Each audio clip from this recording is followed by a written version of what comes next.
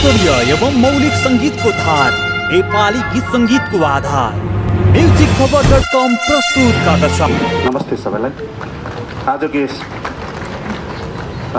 आमा कार्यक्रमका प्रमुख अतिथिज्यू सभापतिज्यू व्यास मासिन विशेष कलाकारज्यूहरू अग्रभागमा आसीन मेरा आदरणीय गुरुहरू अग्रजहरू मेरा आदरणीय मित्रहरू पत्रकार साथीहरू र अन्य सहकर्मी साथीहरू।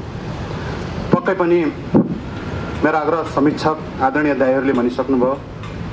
मेरो एउटा यो प्रयास हो नेपाली कला समाजमा केही नयाँ गर्न सकिन्छ कि समाज परिवर्तनका तरिकाहरूलाई फरक रूपले प्रस्तुत गर्न सकियो भने त्यो अझ ऐतिहासिक बन्न सक्छ कि भन्ने उद्देश्य मात्र मेरो हो।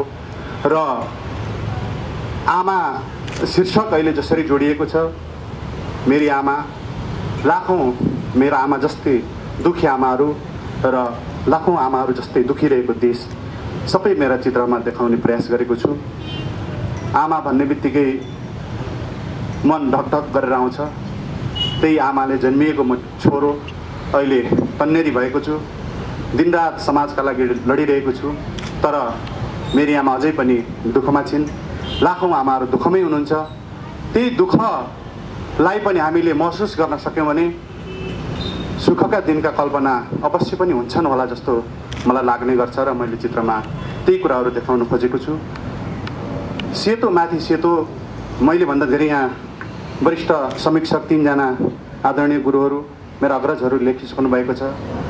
यो उन्नाइस सय चालिस पचासतिर नै अगाडि आइसकेको एउटा बात थियो तर त्यतिखेरको सेतोले फरक हिसाबले भन्थ्यो भने म एउटा गाउँले ठिटो गाउँको अनुभवलाई सङ्घालेको सेतोले मेरो गाउँ बोलेको छ मेरो समाज बोलेको छ भनेर म गर्व गर्न चाहन्छु। त्यतिखेर मनको भावनाहरूलाई पोख्न र मनले आफूले बुझेको कुरालाई प्रस्तुत गर्न मात्रै कलाकारहरू खुस हुन्थे भने अहिलेका कलाकारहरू त्यतिले मात्र पुग्दैन।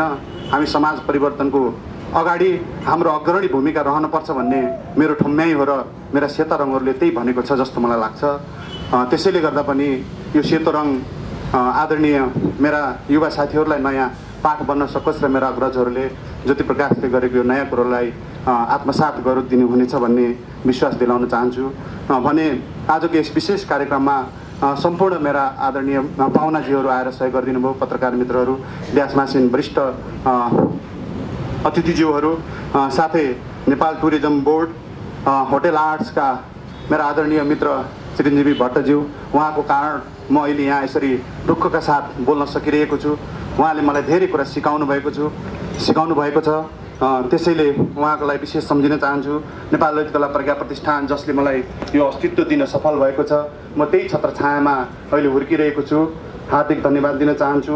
त्यसै गरी मेरो फ्यामिली गेन्द्रमान माते दाई अत्यन्त वरिष्ठ कलाकार अझै पनि जुझार हुनुहुन्छ उहाँलाई हार्दिक धन्यवाद दिन चाहन्छु।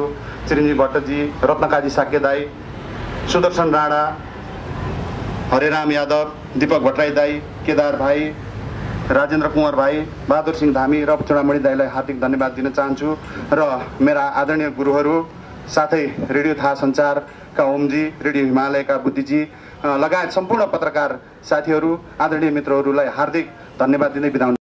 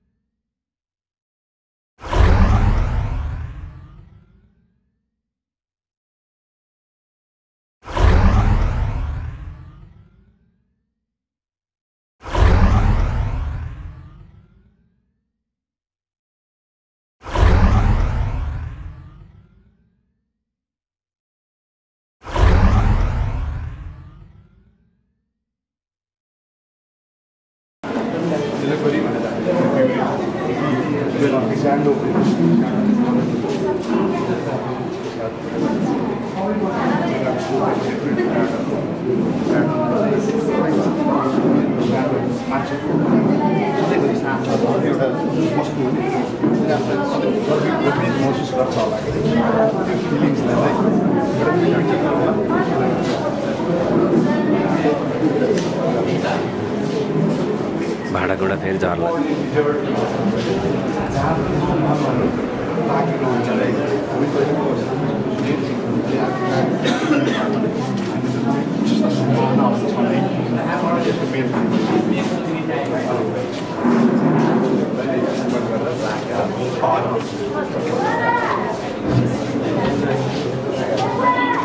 यो पनि एउटा हामी समाज हिसाबले जसरी